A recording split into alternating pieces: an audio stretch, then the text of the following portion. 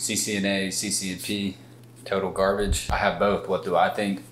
First, I want to tell you about my chair because I got the CCNP, right? That qualified me to be a network engineer.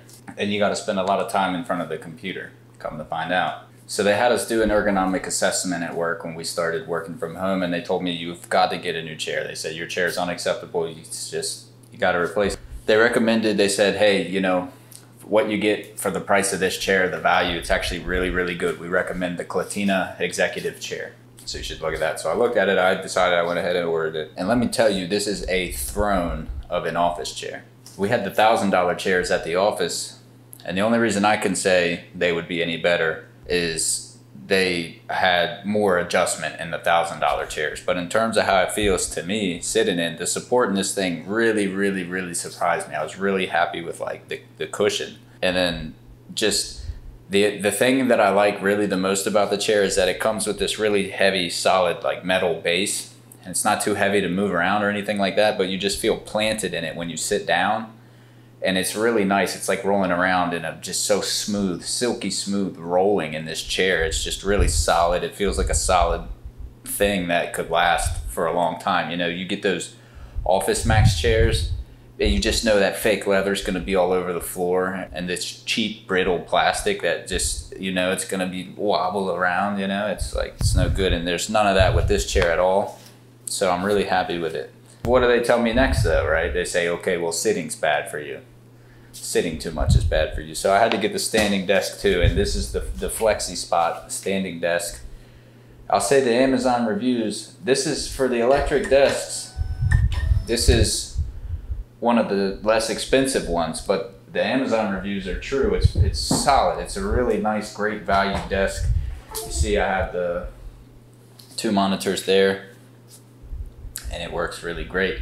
I'm not going to go much more into it than that for me, the chair, a really nice chair and a really nice desk, really put the cherry on top of the CCNP and made it feel official that I'm a network engineer because I have a, a great place to work. So if you're interested in owning such a fine working setup as this, there are some links in the description. You can check these items out.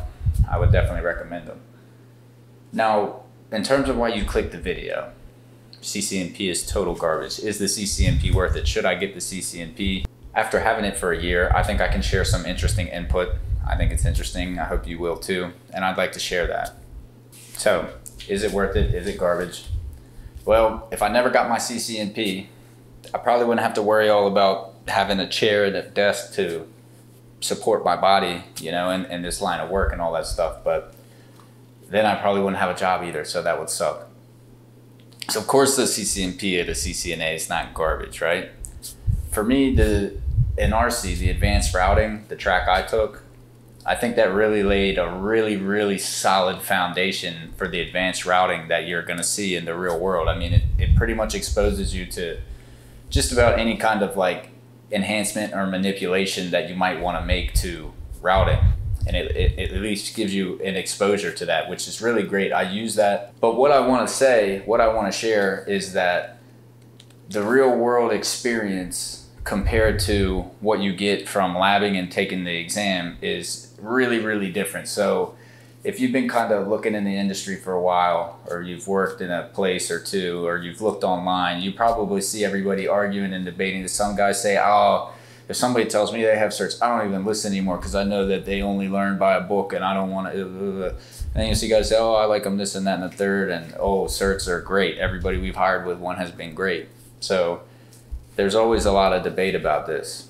Now, I never used to understand it. I say there's no way somebody can take this exam and not be at least, you know, pretty well qualified for whatever kind of job. It's just a, it's a very respected, it's a challenging exam. It's true. I do think that, but after taking it and then working in the field, I can kind of understand some of the other attitudes. So here's what I'll say to the question of, you know, should I take my CCNP without that much experience, this and that and the third? No matter which way you look at it. In my videos on how to pass it, I tell you, hey, look at it like an exam, treat it like an exam. You're trying to pass an exam. Figure out what's on it, take it in, learn the question style, pass it. I still advocate for that. Get it on your resume. The way I view certifications, they're like tickets into interviews or something like that, you know? It's like it, it proves that you've got some baseline level of knowledge that you've gone out of your way to take the time and money to guarantee that you you know to some extent to some level. And it says to anybody that you're trying to talk to for some reason like hey this person might at least be worth giving the time to talk to.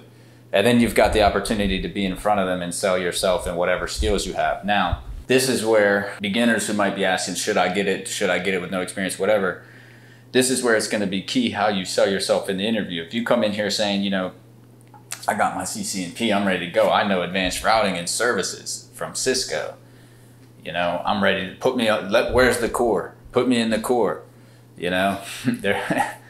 It's like that's not going to be good. Anybody who's been in the industry for any amount of time is going to you're going to instantly lose credibility with them if you try to present yourself as oh I, I took the CCNP so I know what I'm talking about. But if you lack a little bit of experience and you come in with the CCNP and you say hey you know I got my CCNP I'm proud I blah blah blah but I know I have a lot to learn. I know it's different in the real world. You guys may have a certain way of doing things, which I'm interested to learn about. I'm interested to grow with your senior engineers and apply what I learned in the book to the real world. I do have experience with the lab, blah blah blah.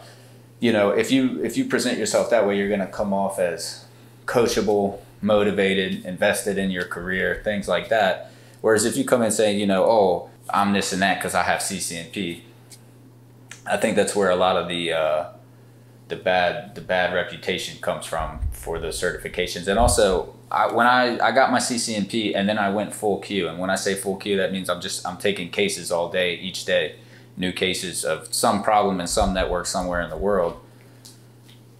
And I, I had my CCNP and I was like, yeah, I'm a it's real now. I'm really a network now. No more um, you know baby stuff. But then I was on these calls and realized troubleshooting. I like correlating what you know about the foundational protocols to the symptoms of the problem that is manifesting at hand under pressure and then testing hypothesis trying to find a fix or the answer to why something happened in retrospect that's a whole different skill set than studying foundational concepts and applying them to like a multiple choice exam or even an exam with some lab exercises in it. So that's kind of where the discrepancy between some people say oh i like them i don't like them in the organization I work in, TAC, some people in TAC just say they're completely worthless for TAC. I wouldn't say it's completely worthless, but troubleshooting hardware and software upgrade type stuff, and not even only that, but even networking strictly straight up networking related problems, actually troubleshooting them and then trying to solve them is it's just different. And it's much more difficult than you would expect. And it's something that an exam can't really train for. And that's not the fault of the exam. So the exam is totally not garbage if you're experienced and you're asking, you know, should I get it? That just comes down to you, what you're trying to do from what I've seen. Um, there comes a point where experience trumps certifications, but certifications can look good in certain roles. If you're customer facing and you need a certain certification for whatever reason, you know pretty much by the time you start getting experience when, what, why you need it, if you need it, if it's going to be worth it for you. It's always worth it if somebody else is going to pay for it, right? So always try to take advantage of those programs. Everybody knows that. That's pretty much common sense. And um, I mean, that's my take on the CCNP. For me, it was a humbling experience to go from a theory guy, a book guy, a I did well on the exams, I do well in my labs, I'm just a technical type person, to actually seeing some real problems in a real network, a real large organization, and how they go through the process of, you know, responding to that and then trying to root cause that. It's really interesting and it's a totally different skill set than anything you could really learn on the exam. I think the closest you could probably get is like the CCIE exam, but I haven't taken that and I don't know if I will. So we'll see. Let me know if what you think. Should I take it? Have you taken it? Are you going to take it? Has CCNP worked for you? I mean, let's have a discussion. In terms of me, I, I forgot to add, I want to add here money and raises I'll just say I do think all certifications have always been beneficial to me in that regard.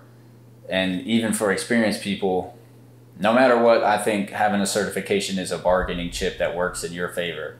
And it's something to satisfy HR. So I like certs, but there does come a point where you're getting too many, maybe. That depends on you and your role. Um, I think the most important thing for new people to understand, the type of person who would be looking, is the CCNP worth it or CCNA or any cert. I think the most important thing to understand is you're not getting the cert and then saying, I'm ready to go, put me in charge of your whole ship. It's more just proving that you're worth talking to in an interview. And then you sell yourself and say, hey, I'm, I have a good attitude. I'm ready to learn. I'm fun to work with. And yeah, I have a base level skill set that I validated. Here's the projects I've done, the certifications I got.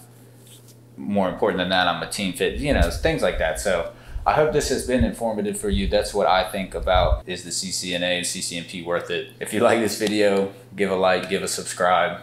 More will be coming on the way. I don't know what else I'll try to sell you.